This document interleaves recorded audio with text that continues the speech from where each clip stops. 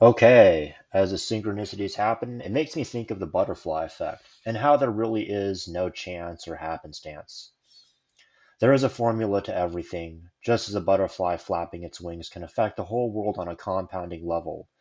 So too are our brain waves and the vibrations of our voices affecting reality on a compounding level and effect. That's why the law of attraction, which by the way is really presented in an incomplete format more often than not, stresses thinking and the way you think because our brain waves will affect our reality and the particles in the air around us, just as our thoughts of our mind affect our actions. It truly is a beauty to behold.